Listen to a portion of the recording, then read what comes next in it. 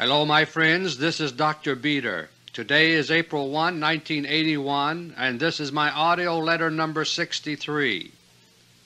For two days now, news here in the United States has been dominated by the Presidential assassination attempt Monday afternoon.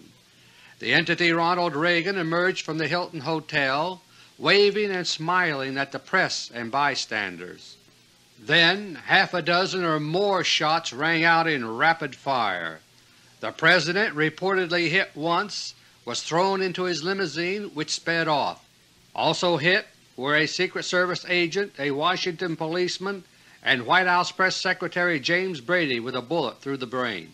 It all happened at 2.25 p.m. Eastern Standard Time, March 30, 1981. By the time people were coming home from work and tuning in to the continuing news coverage, it was already beginning to look cut and dried. A lone assassin, we were quickly assured, an oddball of some kind, certainly no hint of a conspiracy. But, my friends, it is always the early reports that contain the truth. In the early moments after an episode like this, the unseen censorship of our controlled news media does not function so effectively. It is only after the story is told and retold that the untidy gems of truth are weeded out. In those early moments there were a number of puzzles which went unexplained and unmentioned later on. The most significant of these was a report on NBC television by NBC reporter Judy Woodruff she was a close eyewitness and said, quote, I was probably one car length and a half away from the President's limousine when the shots were fired. People immediately hit the ground, and I noticed there were some shots fired from an overhanging, from a sidewalk that was above where the President's car was." Unquote. Then she continued with other comments. My friends, those words of NBC's Judy Woodruff can only mean that there were at least two gunmen.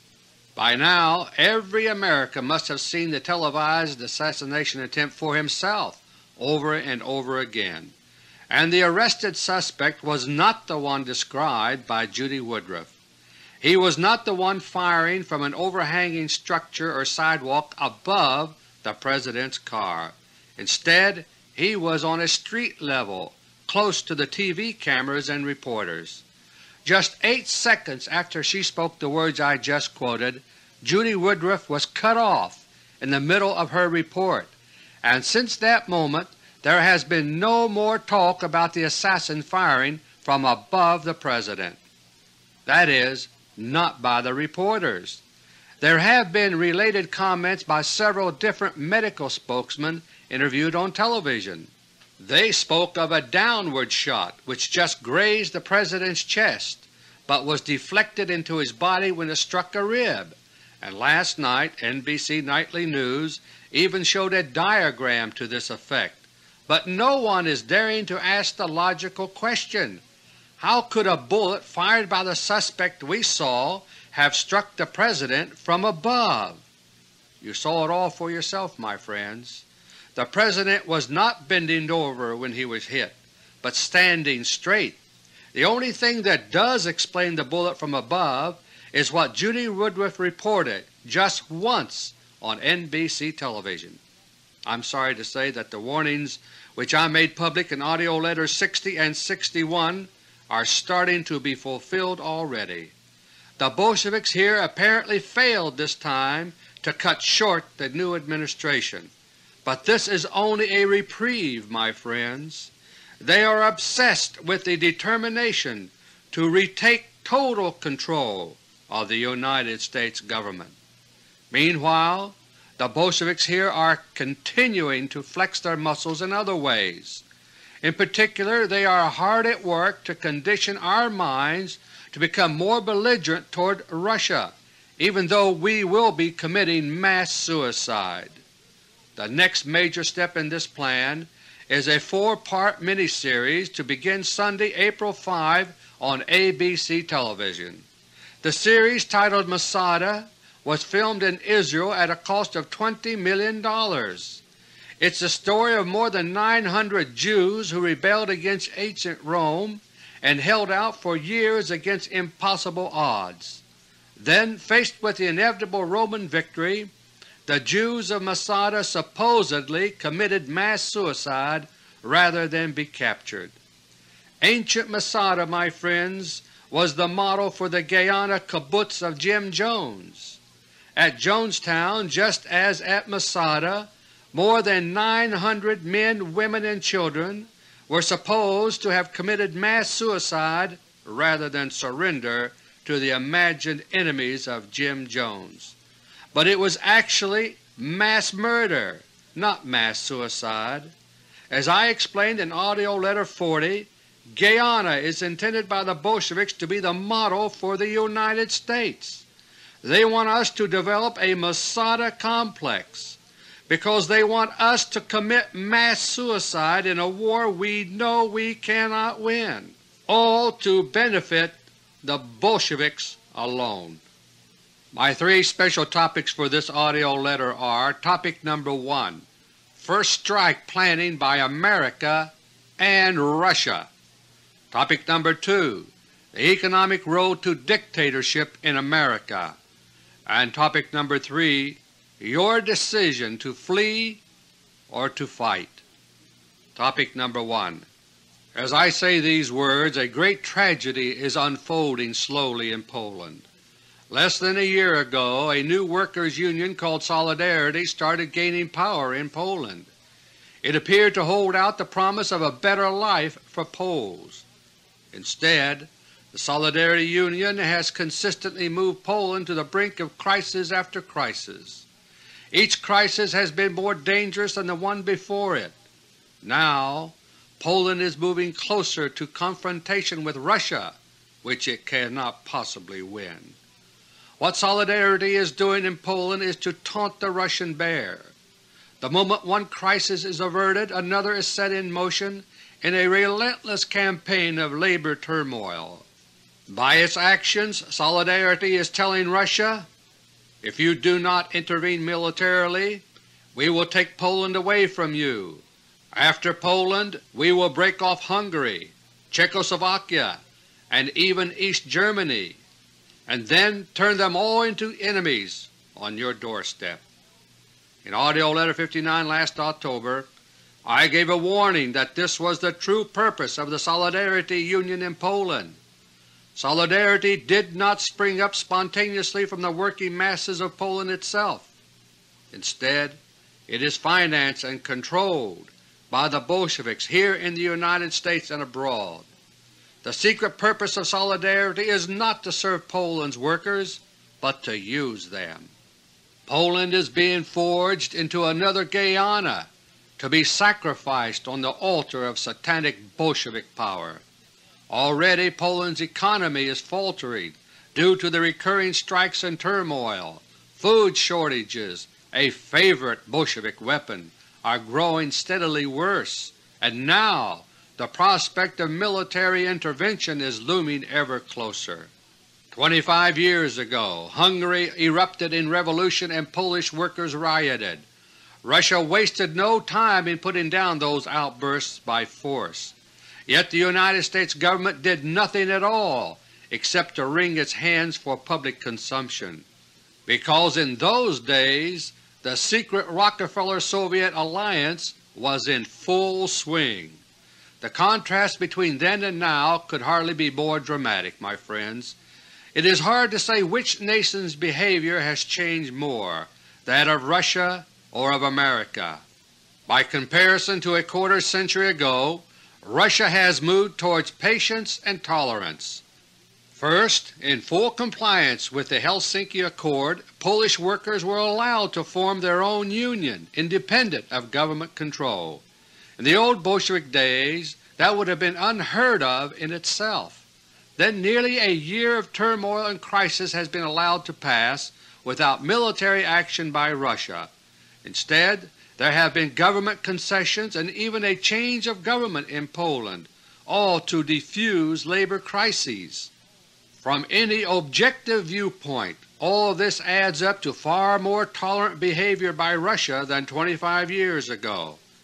And yet what is America's response compared to 1956? The answer is that the United States is now reacting to a lesser provocation with greater belligerence.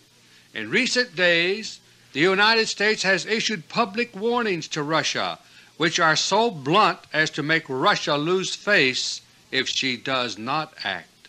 Like the Polish Solidarity Union itself, the United States is goading and taunting the Russian bear. So Russia has moved toward moderation, while America has moved toward belligerence.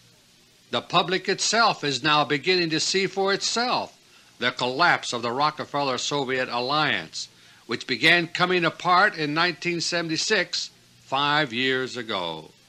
The split began with a still-secret underwater missile crisis in the summer of that year. The four Rockefeller brothers tried desperately to patch things up, but Russia finished severing the alliance in September 1977. Russia began the massive deployment of a whole new generation of manned space weapons, her unique Space Triad, and in the process America's secret military control of space was broken. All of this was tied directly to drastic changes taking place within the ruling circles of Russia. I have detailed all of this in the course of many past AUDIO letter reports.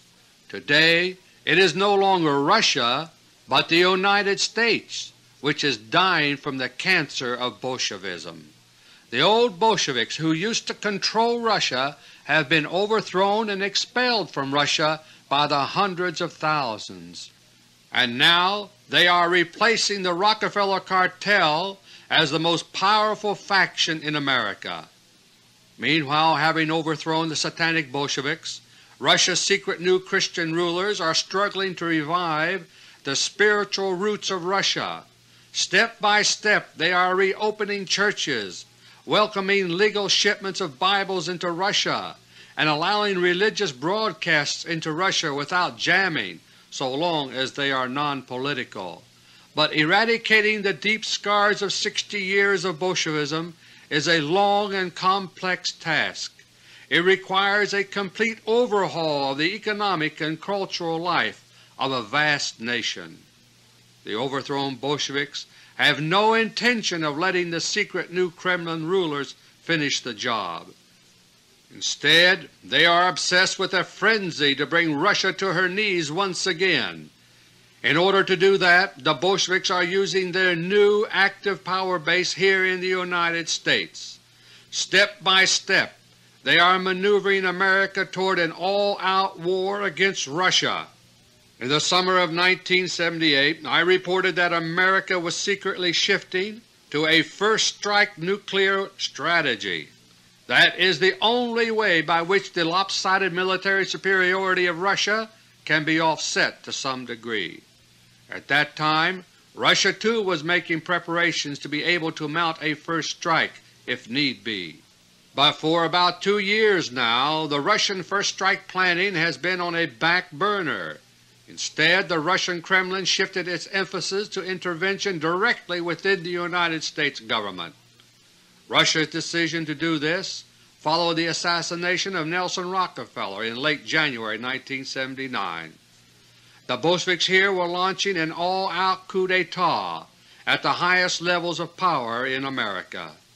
They were moving fast, with plans for a Middle East war to erupt that same spring. That in turn was to lead to Nuclear War I.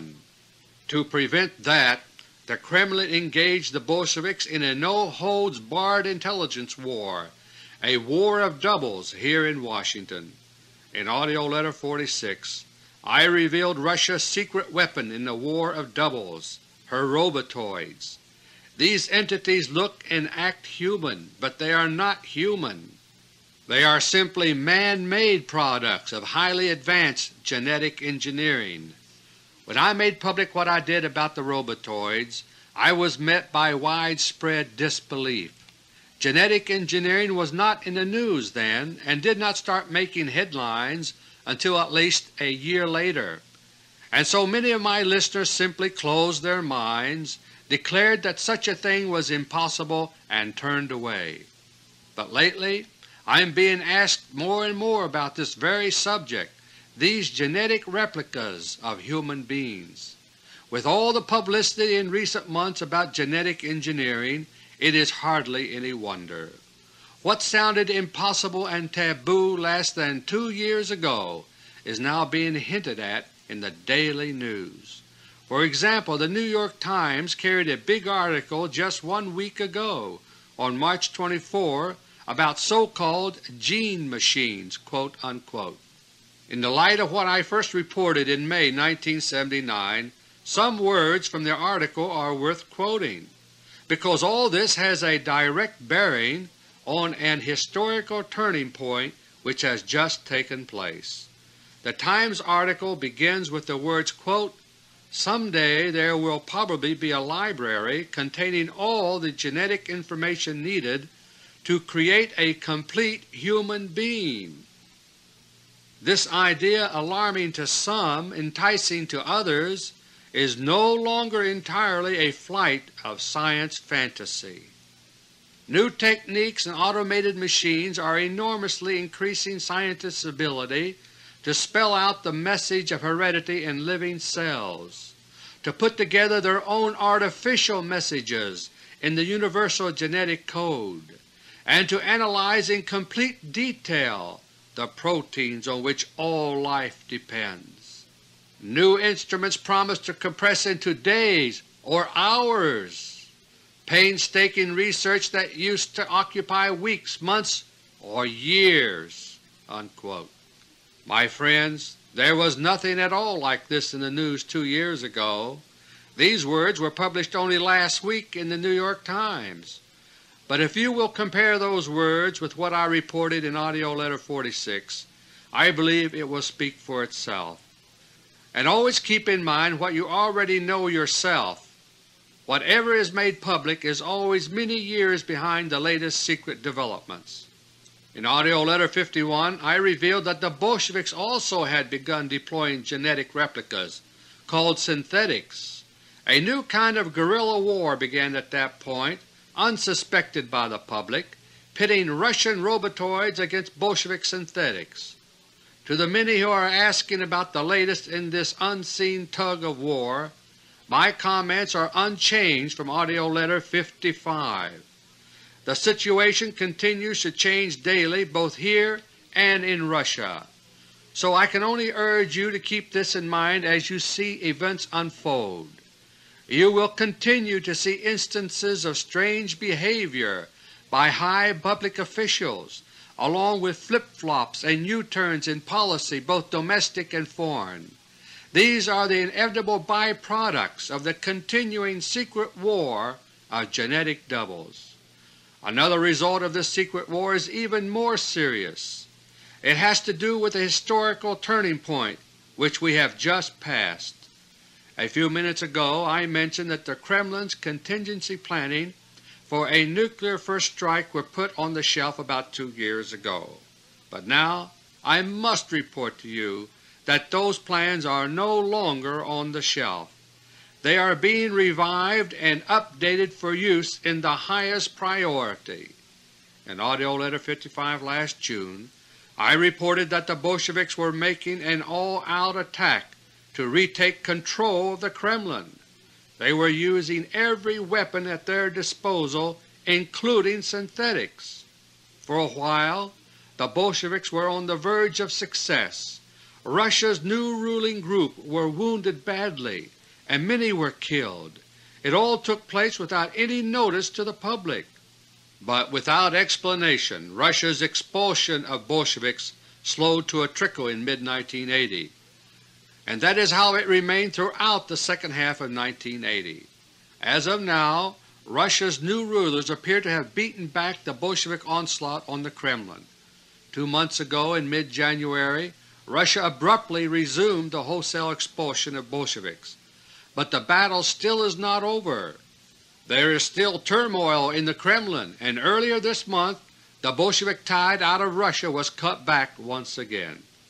Russia's new rulers have just had a very close call. In the meantime, new war preparations have been rushing ahead here in the United States. A whole new grand strategy to bring on nuclear war is now being set in motion. Many details of this vast new plan still remain to be worked out, and also the Bolsheviks are having to work around the limited power now exercised by the crumbling Rockefeller cartel. Even so, the broad outlines of the new war strategy are already clearly defined. The new Bolshevik road to Nuclear War I consists of five parallel tracks. They are moving down all five tracks at once, advancing on five fronts. These five tracks are Track 1 Keep the Russians off balance by means of internal turmoil. Track 2 Get the American people ready for war. Track 3. A limited but crucial American military return to space. Track 4. Continued expansion of offensive weaponry for a nuclear war. And Track 5. The creation of unprecedented multiple crises in the world. I have already told you a little about Track 1 of the plan, that is, fomenting internal problems in Russia. As for Track 2, I mentioned a little about the psychological programming of America for war in my introduction. Our preparation for war economically and politically deserves further comment, and I will do just that in my second topic. Track 3 of the Bolshevik warpath revolves around the Space Shuttle program. In AUDIO LETTER 62 I revealed the secret military mission of the shuttle Columbia scheduled for launch early this month. Its purpose is to place a laser-armed, hardened spy satellite in orbit. If it succeeds, it will be the first time in three years that the United States has had a spy satellite on duty for any length of time. Russia has destroyed all the others.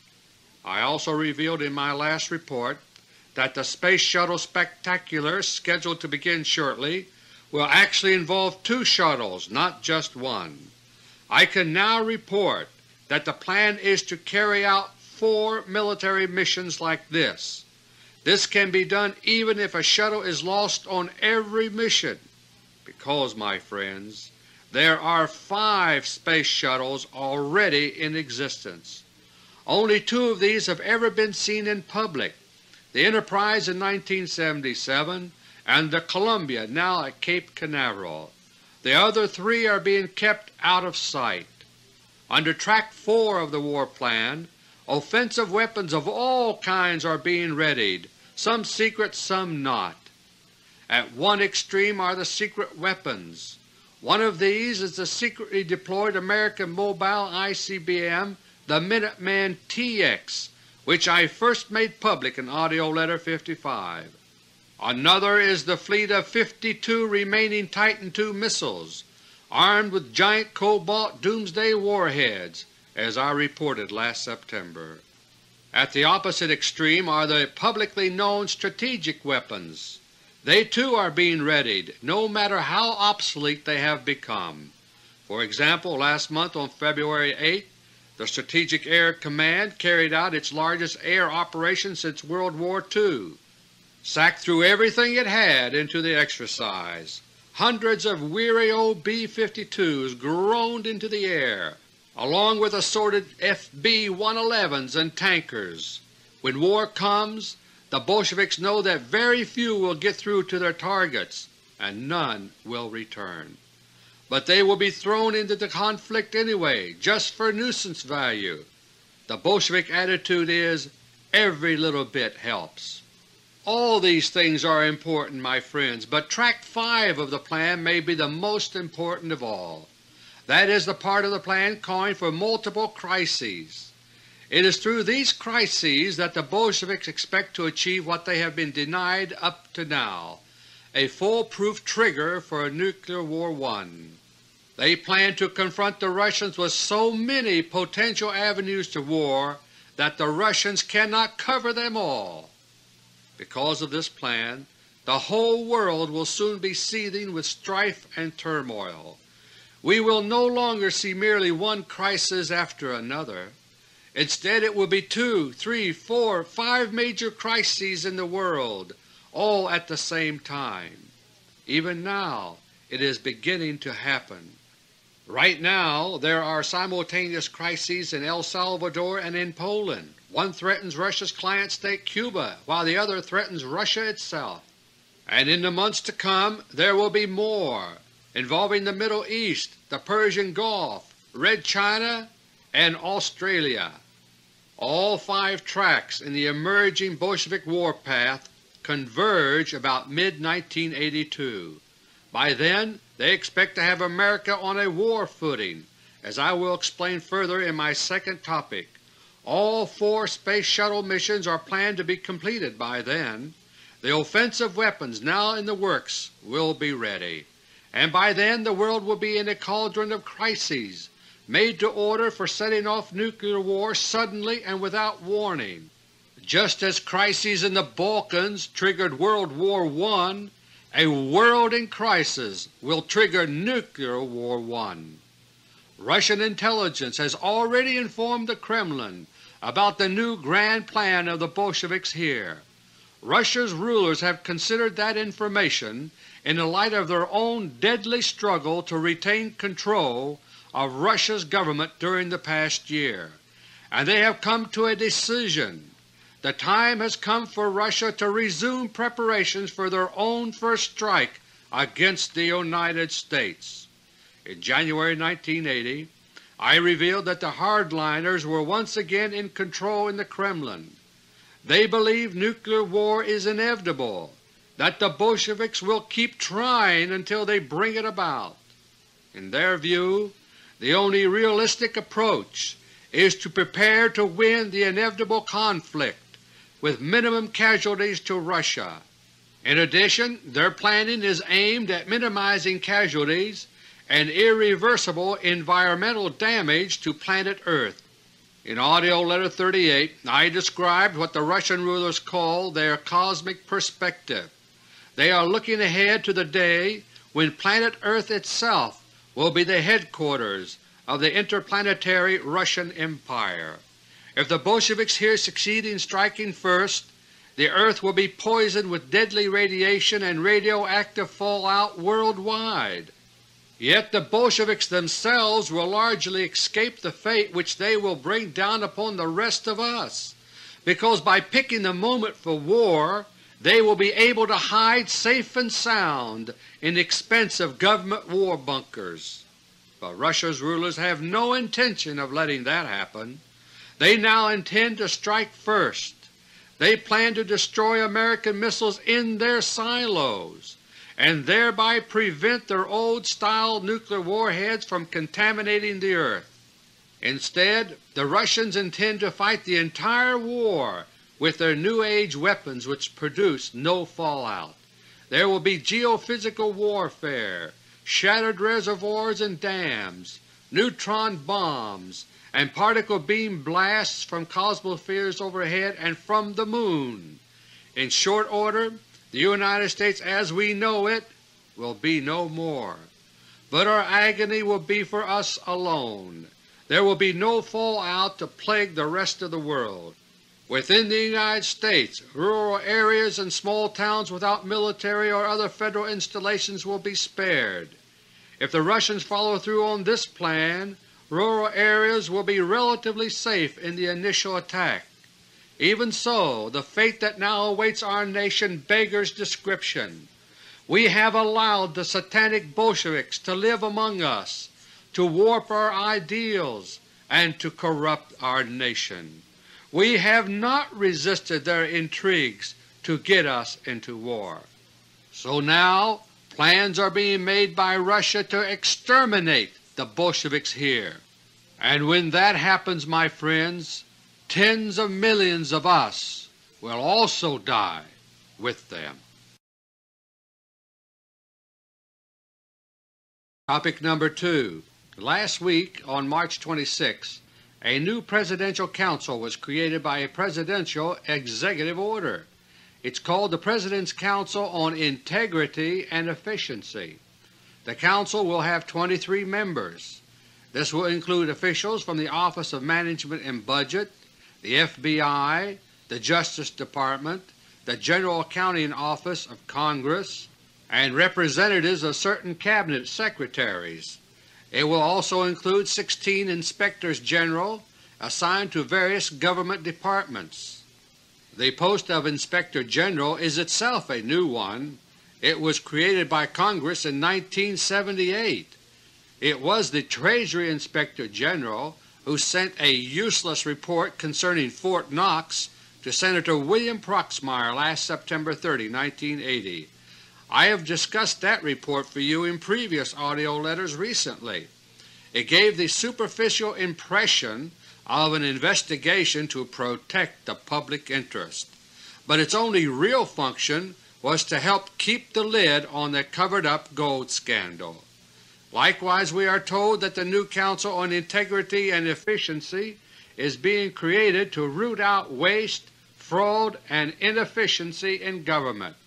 We're supposed to believe that it will be the government's way of keeping watch on itself. But, my friends, this is nothing more than sugar-coating for dictatorship. It is taken straight from the pages of the secret new Constitution for America which I first made public in 1975. We are witnessing the creation of what the secret new Constitution calls the Watchkeeping Service." The so-called Watchkeeping Service would be headed by an official designated the Watchkeeper. The Watchkeeper, my friends, corresponds to the Chairman of the new Council on Integrity and Efficiency, Edwin Harper. The secret new Constitution specifies, quote, With the assistance of an appropriate staff the watchkeeper shall gather and organize information concerning the adequacy, competence, and integrity of governmental agencies and their personnel." Unquote. Further on, the new Constitution adds that to carry out the purposes of the watchkeeping service, quote, personnel may be appointed, investigations made, witnesses examined, post-audits made, and information required." Unquote. If you are one of those who demanded a copy of the Treasury Inspector General's report to Senator Proxmire, the words I just read from the secret new Constitution should sound very relevant. These things are exactly what the so-called Inspector Generals pretend to do, and in describing the new Council on Integrity and Efficiency, White House spokesman said that the Council will have the job of developing quote, a corps of well-trained and highly skilled auditors and investigators." Unquote. My friends, I first made public the secret new Constitution for America in my audio book Talking Tape No. 4 in July 1975. Shortly after that I also released a pamphlet containing the entire text of the secret new Constitution. That is what I was reading from a few moments ago.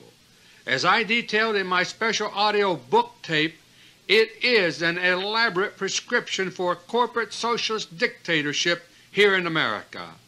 When I first made the secret new Constitution public in 1975, the late Nelson Rockefeller, then as Vice President, was hoping to bring it into being all at once. At the same time he expected to make himself President of the new disguised dictatorship for nine years, and if Sarah Jane Moore had not missed when she shot at then-President Gerald Ford, Rockefeller might have succeeded. But by the grace of God it did not turn out that way. So instead, Nelson's late brother John D. Rockefeller III spearheaded an alternate plan. In full-page ads all across America, a Manifesto of Change was published. It proclaimed a so-called bicentennial era from 1976 to 1989. It was said that it took 13 years from the beginning of the American Revolution to the final emergence of America's new government 200 years ago. and so they said they would give themselves that long again, if need be, to once again revolutionize America's government. Most people have long since forgotten all about the bicentennial and its obscure decorations of change to come, but step by step, gradually, the secret Constitution is already being implemented all around us. It was set in motion by the corporate socialist Rockefeller cartel and ever since the November 1980 election the crumbling Rockefeller machine has been trying to push it ahead. Even the loud cries of governmental deregulation are not what they appear to be. They are actually intended to pave the way for the so-called corporate authorities spelled out in the secret new Constitution. These would enable big business to function free of government restraint and yet exercise life and death power over all small businessmen. It was all set in motion by the four Rockefeller brothers in their heyday, but two years ago the brothers were secretly removed by the Bolsheviks, and now the Bolsheviks themselves are turning part of these corporate socialist plans against the Rockefeller cartel. An example was the Supreme Court Bronte decision which I revealed in AUDIO LETTER No. 61. Because of that decision, the new administration here in Washington has already started reappointing some of the Inspectors General who were Carter holdovers. So it is a very mixed bag right now. The regrouped Rockefeller forces under John J. McCloy are slowly gaining power. But as I reported in AUDIO LETTERS 60 and 61 for November and January, the Bolsheviks intend to cut short the so-called Reagan administration. Two days ago, outside the Washington Hilton Hotel here, it almost happened already. As it turned out, the Reagan administration was not halted that time. But there will be some slowdown in the plans of the Rockefeller cartel. Meanwhile the Bolsheviks here will redouble their efforts to retake total control of the United States Government. Meanwhile the United States is being shut down to get ready for war. Money is being diverted from all kinds of programs with the excuse that they are wasteful and inflationary. But the funds are being dumped instead into the most wasteful and inflationary use of all, massive funding for unproductive weapons to fight a needless and hopeless war. In spite of all the political rhetoric about fighting inflation, it will grow steadily worse. One cosmetic measure after another will be announced, but they will not work, my friends, because they are not supposed to work. Finally the time will be ripe for dramatic action. The President will announce to the nation that the situation is desperate he will say that the time has come for tough action, and millions of Americans will agree. And with that he will declare a national economic emergency. It will be like August 1971 all over again. President Nixon declared an economic emergency, supposedly to fight inflation. There were dramatic actions for cosmetic effect, including wage and price controls, but the most important action was hardly noticed. Nixon closed the gold window for international settlements. It was actually a secret declaration of war against the dollar, disguised to look like the opposite.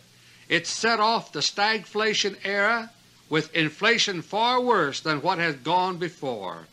Once again we will be told that a national economic emergency is being declared in order to fight inflation and just as before there will be dramatic measures for psychological impact. But in the end the result will again be just to make matters worse. As of now the plans are being laid to declare the national economic emergency toward the end of this year 1981. The most dramatic part of the plan has to do with the $100 bill. In that connection our psychological programming for things to come is already beginning by way of the so-called news. Right now we are hearing more and more about the old theory that the money supply is the key to inflation. Those who subscribe to this money supply theory are called monetarists. Monetarist theory no longer holds water, as I explained eight years ago in my book The Conspiracy Against the Dollar. In this age of multinational corporations, other forces are far more important than the money supply, but the new administration is packed with monetarists. They are hinting that if only we could restrain the money supply, inflation would dampen down. In a seemingly unrelated vein, lately we are hearing a great deal about the tons of cash being used by organized crime. A recent story on the CBS television program 60 Minutes was an example of this. The story dealt with the oceans of $100 bills flowing through Miami banks these days. There are so many that they are not counted, they are weighed. The program showed $100 bills being bundled and stacked for storage and shipment to other banks by the Federal Reserve Branch Bank in Miami. The point of the program was that much of this money was drug money. Banks are taking in enormous amounts of cash, mostly in $100 bills, in areas where organized crime is heavy. Yet in other areas cash is scarce. If you don't believe that, just go to your bank and try to withdraw one or two thousand dollars in cash if you have that much in an account. In many areas you will be refused the bank will tell you that you will have to wait until the cash will become available. In this and other ways, my friends, the $100 bill will gradually be turned into a straw man, to be knocked down in the coming economic emergency. When the economic emergency is declared, the Presidential Executive Order will declare the $100 bill illegal tender. Everyone holding $100 bills will be given a short time to redeem them. The redemption period currently planned will be three days. After that, the $100 bill will be repudiated by the United States. If you are still holding any after that, you will simply be out of luck. To redeem your $100 bills, you will be required to go to your own bank, one where you have an account.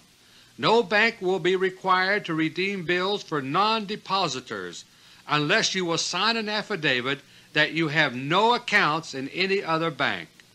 When you turn in your $100 bills at the bank, you will be required by Presidential Executive Order to give your name, address, and Social Security number. If you turn in more than a certain small amount, perhaps $500, you will also be required to sign an affidavit stating where you got them. Up to that same small amount the bank will redeem your $100 bills in cash of smaller denominations. Any amount beyond that will be redeemed only as a deposit to your account at any one time. All of this will come as a complete shock to the American people. The only advance notice of the $100 bill repudiation will go to foreign central banks. A mere 24 hours before the emergency declaration they will be informed about it. The vast quantities of $100 bills abroad will be subject to the same brief redemption period as here in the United States. America's repudiation of the $100 bill will be portrayed as a tough attack on inflation and on crime as well. The disclosure provisions will be said to be designed to reveal holders of concealed wealth including criminals. More importantly, the elimination of the $100 bill will supposedly help bring the money supply under control and with it inflation. $100 bills now constitute about one-third of the total dollar value of all United States currency in circulation here and abroad. Under the plan, many will be redeemed as bank deposits, that is, bookkeeping entries. Those can be watched and controlled far more easily than cash. We will even be told that the supposed anti-crime angle will have an anti-inflation bonus. Criminals holding large hoards of $100 bills may decide never to turn them in and thereby reveal themselves, and that will result in an actual drop in the money supply. The monetarists will assure us that this will be like poking a pin into the swollen balloon of inflation. The Presidential Executive Order declaring the emergency will also proclaim a bank holiday of several days. This will be for the purpose of preparing the banks for the redemption rush to follow. When the banks reopen, the actual redemption period to turn in your $100 bills will begin. The emergency proclamation will also close the nation's stock markets for a similar period. Two excuses will be given for this. One is that the Administration will want Wall Street to absorb the news in an orderly manner without any chance of panic. The other excuse will be that large amounts of crime-related $100 bills are being laundered through the stock exchange. The cutoff of those cash transactions will come as a shock to Wall Street. As a psychological ploy it will be a master stroke. It will seem to say that America has finally gotten serious about its inflation. The dollar will temporarily become stronger abroad, and the price of gold will plummet. Speculators with inside information will sell gold short ahead of time. Then after the price drops they will buy up the gold again. The psychological shock of the $100 bill ploy will soon wear off, and then gold prices will head upward again on the crest of new crises. For all its dramatic impact, the repudiation of the $100 bill will have no lasting effect on inflation. It will be defended by the monetarists as justified by their money supply theories, but it will actually attack nothing but the symptoms of inflation. If inflation is really to be cured, it must be by going to its causes and that cannot be done without tackling the scandal of America's missing gold reserves. Even so, the elimination of the $100 bill will have a lasting effect in another way. It will begin to condition Americans to the idea that there is nothing sacred about the currency we are accustomed to using. Only a little further down the road the process will be completed by replacing our shriveling dollars with a new currency but even that will be only a way station on the way to the final destination of a cashless society. The final dream of the money monopoly masters is to reduce everything to credit entries processed by computers. If they can achieve that, then they will achieve total control over the money supply, and they believe they will also achieve total control over you and me. At long last we will all be their slaves. The declaration of economic emergency will also have another purpose. It will secretly activate the emergency powers of the President for wartime measures. America will start moving more quickly onto a war footing. The bureaucracy of wartime controls will start cranking up, all in the name of fighting inflation and having been terrorized by the government into turning in our $100 bills as we did our gold in 1933, we Americans will start developing a wartime mentality. It will take place at a subconscious level. Most of us will be unable to define why we somehow feel uneasy, but without being told a word, Americans will feel the ghostly pre-war echoes of the 1930s. The $100 bill episode will also leave many of us feeling helpless to resist the seemingly almighty government. The message will be burned into our minds, obey or else. We will be on the road to war, and we will also be on the road to dictatorship here in America. Topic number 3 My friends, these are the things which are now being planned for us.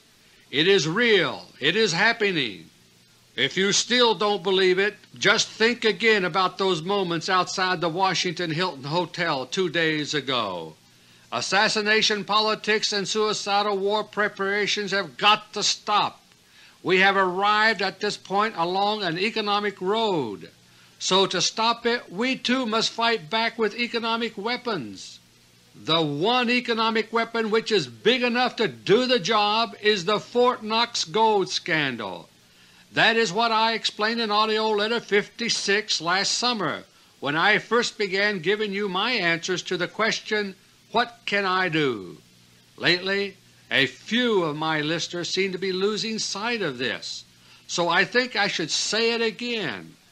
If we want to do something about our headlong rush into disaster, the Fort Knox gold scandal is the way to do it. If we just get bored and walk away from it, my friends, it's all over. We will have forfeited America's last chance. Perhaps there are some among you who are growing weary of our preventive war of truth. That is why I was so reluctant ever to begin the process of giving you my answers to the question, What can I do? When I began doing this in AUDIO LETTER No. 56 last summer, I emphasized as strongly as I could that we will have to stick with it if we want to win. But in our speeded up world today, scandals are like water poured over sand. They make a big splash for a moment, but they hardly sink in before they are gone. Many people get bored, they are forgetful, they lose interest quickly, and because all this is so true, our enemies always know they can get away with anything. All they have to do is wait a little while, and we will oblige them by forgetting about it, whatever it was. If there are some who feel this way, it would be best for them to turn back now and go no further. Better to flee the coming catastrophe now, before it happens, than to end up later as a pathetic refugee from a devastated America. To those who feel they must make that choice, I can only say, Go, and may God be with you. But large numbers of you are still saying in your letters, What is the next step? What is the next action we can take? To all of you I say, May we now redouble our preventive war of truth. It's time for us to draw our second wind, because the longer we persist without giving up, the more dismayed our enemies will become. In Topic No. 2 I discussed the creation of the President's new Council on Integrity and Efficiency. I also revealed its unadmitted source, the secret new Constitution for dictatorship in America. But like other recent Presidents, the current occupant of the Oval Office is an actor, doing as he is programmed to do. In the past, other Presidents have later expressed deep regrets for taking actions which they did not understand at the time.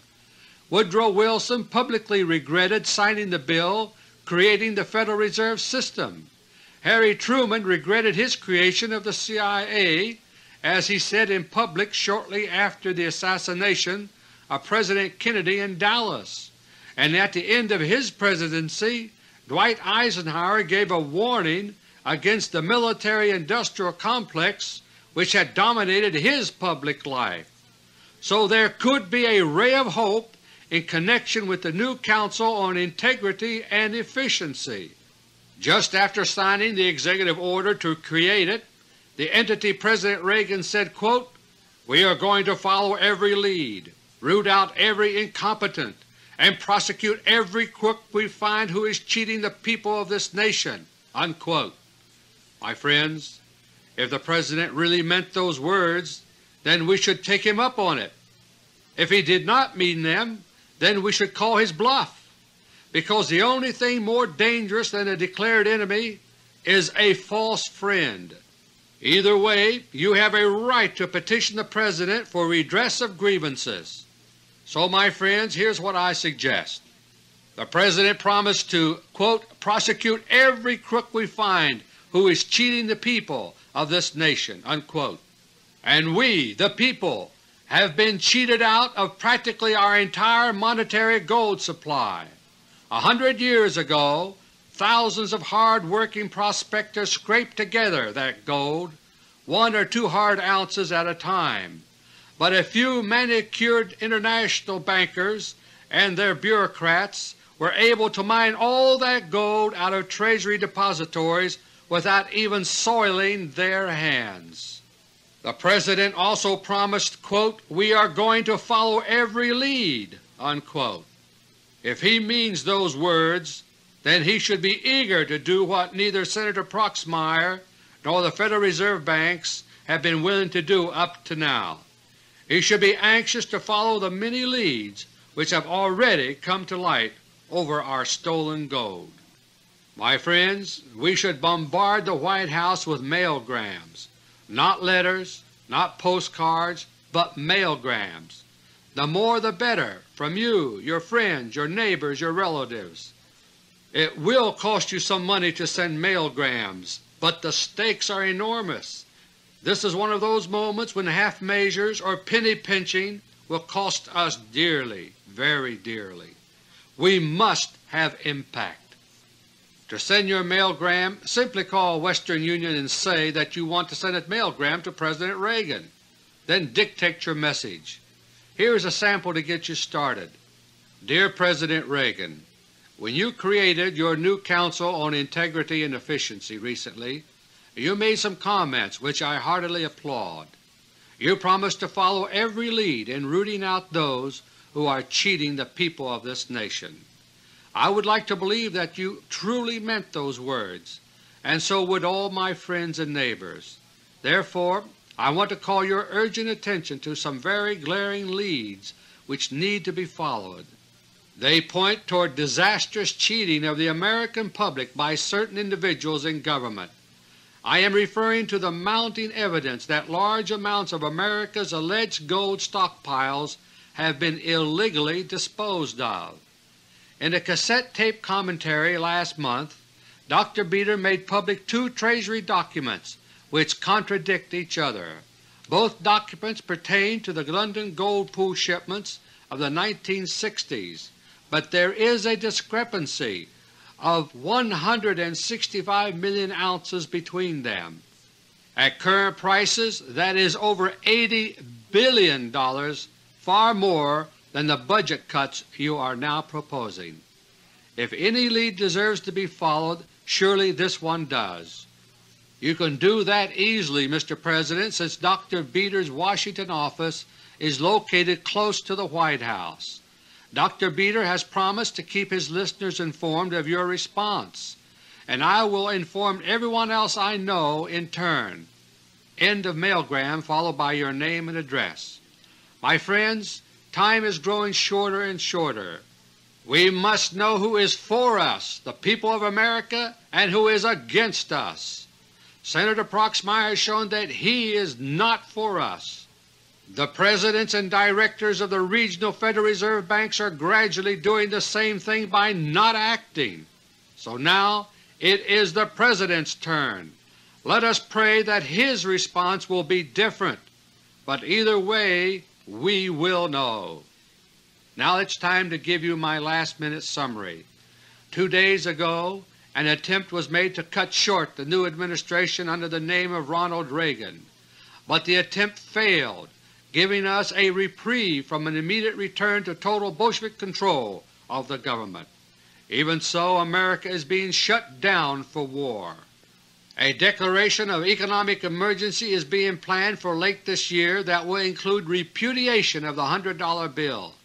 At the same time, the machinery of dictatorship is slowly taking shape all around us. And now plans are once again being laid, not only here but also in Russia, for a first strike in all-out nuclear war. My friends, there is only one way to stop all this. That is to expose those responsible before America is put to the sword.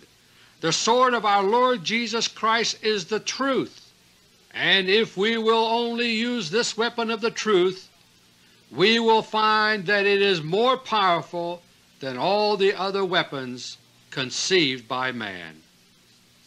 Until next month, God willing, this is Dr. Beter.